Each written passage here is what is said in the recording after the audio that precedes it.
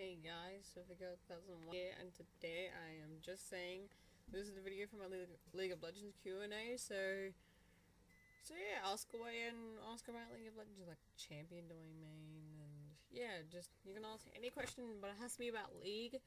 I'm I'm not fast, but still, be prepared to ask away, and yeah, and I'm probably getting my computer back soon, so yeah. So ask away my your League of Legends questions. You can ask anything, and thank you. Bye.